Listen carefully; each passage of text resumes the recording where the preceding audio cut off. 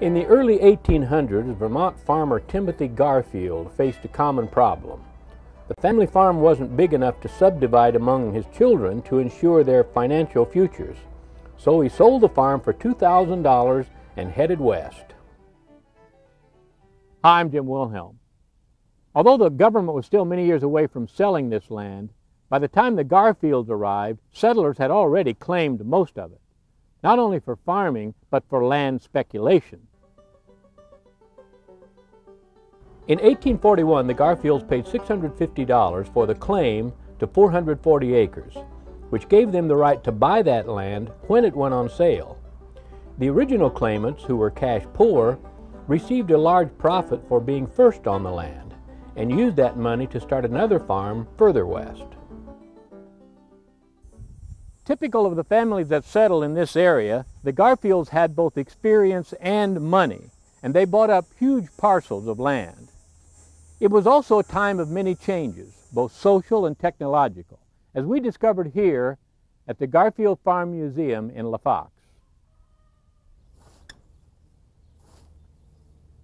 Large farms meant surplus production, which was taken to Chicago for shipment back east.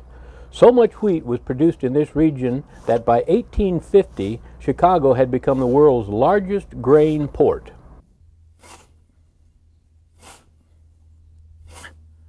Well, today we're cutting hay, not wheat.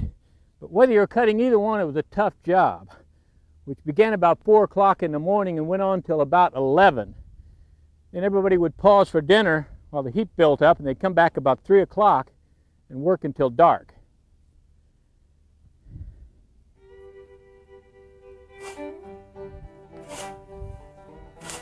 On a good day, one man could cut upwards of two acres. But around the time the Garfields arrived, inventions such as the McCormick Reaper were increasing farm production and generating other changes. Over. Jesse, ha! These were the tractors of the early farms, oxen. Unlike horses, which are harnessed, oxen were attached to wagons and plows by a wooden yoke. There was no bit in the mouth to steer them, so they had to be taught certain verbal commands. Come, ha! Huh? Oh. Training a team to work together was a time consuming process. And here's an interesting fact farmers used only oxen with horns, so the yoke wouldn't slip off when they went downhill or came to a stop. But new equipment like the reaper needed to be pulled faster in order to allow the gears to spin at sufficient rate, and that meant horses. So by 1861, Mark Dunham from down the road in St. Charles was importing draft horses from France.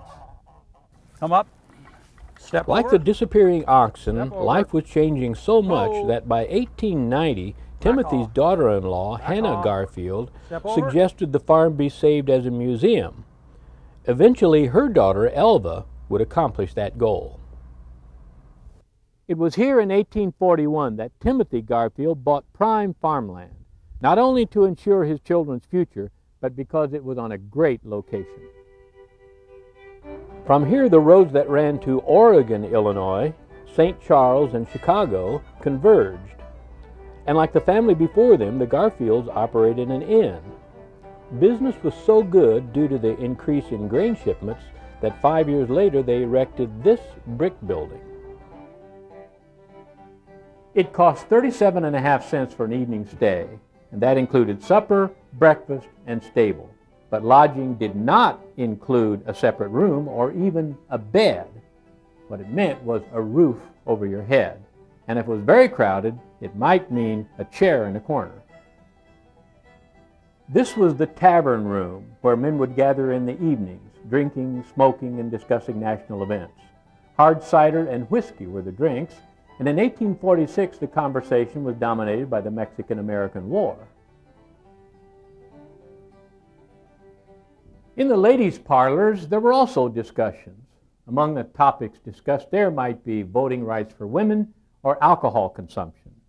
So it might be said that in parlors all across the country, the seeds of the temperance movement and the suffrage movement were planted.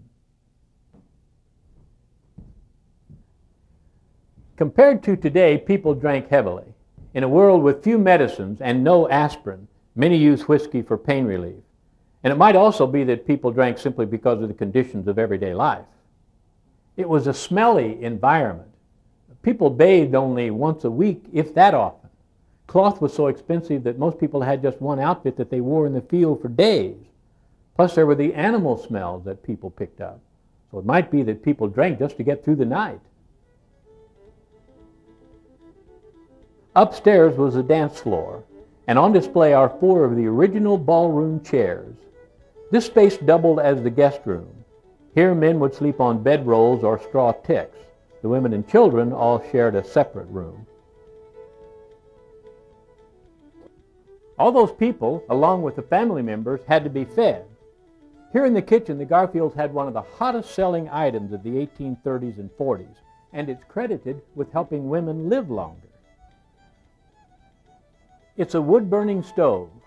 Before its conception, cooking was done over an open fire where it was easy to get burned. The infection which often resulted from the burns was the second leading cause of death among women. In the corner is this original large paddle wheel butter churn. It's a reminder that since transportation was not fast enough, all excess milk had to be converted immediately to cheese or butter. This is one of the oldest buildings on the farm a barn built in 1842. But it wasn't big enough to meet the needs of both the family farm and the tavern business.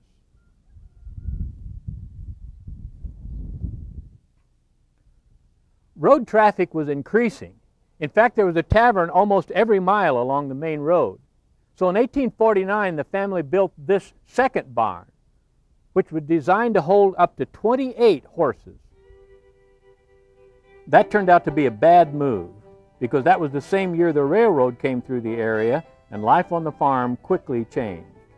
Road traffic dropped off dramatically as farmers could now ship their grain without spending days on the road. And the days of the Garfields operating an inn were now over. It also meant that milk could now be shipped to Chicago. So this farm, like many others, began to make the slow transition from grain production to dairy production. Another change that occurred was a precise tracking of time. Now it was important to know exactly what time it was so that you could follow the railroad schedule. Well, besides just these old buildings and the displays of 1840s farming skills, the Garfield Farm Museum also promotes the preservation of plant and animal species, not only to show visitors what was here, but also to protect the original gene pool. One species that was popular was merino sheep. Originally from Spain and prized for their wool, they were carefully guarded by the monarchy. It wasn't until 1820 they appeared in the New World. While they always had wrinkled skin, farmers began breeding the sheep to create even more foals. The more wrinkles, the more wool. But with the invention of electric power, smooth skinned sheep became more desirable because they could be sheared easier and quicker.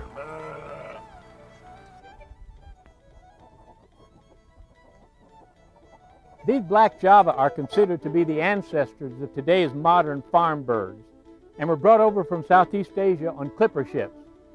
Today it's estimated there are only about 500 of these birds left. They were the preferred bird in the poultry market because it was easy to see how cleanly they had been plucked Black feathers stood out against the white skin.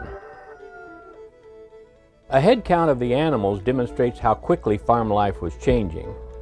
Records show that in 1850 the Garfields had seven milk cows, seven cattle, two horses, 20 pigs, and 20 sheep. Ten years later they had almost a hundred sheep. But by 1870 there were no sheep on the farm at all. It had converted exclusively to dairy products. When the Garfields arrived here in 1841, their land consisted of a large grove of trees surrounded by open prairie. Insects were horrendous. In fact, during the summer, the cattle wouldn't even enter the woods because of the swarm of black flies.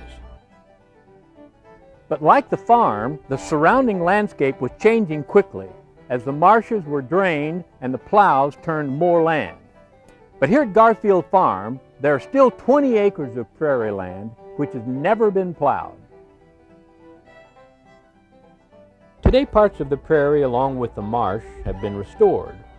And today, like then, Garfield Farm is in a state of change. But this time, it's returning to the past. During the year, volunteers and staff demonstrate the skills that were needed to run a successful farm in the mid 1800s, and restoration work continues on the old buildings. Here's an interesting sidebar. For an office, the museum moved a neighboring house which had been built in 1849 by Atwell Burr. He was a cousin of Aaron Burr, Vice President of the United States, who shot and killed Alexander Hamilton in a duel. On the other hand, the Garfields were from the same family that produced James Garfield, who in 1880 became the nation's 20th president, and whose term was cut short by an assassin's bullet.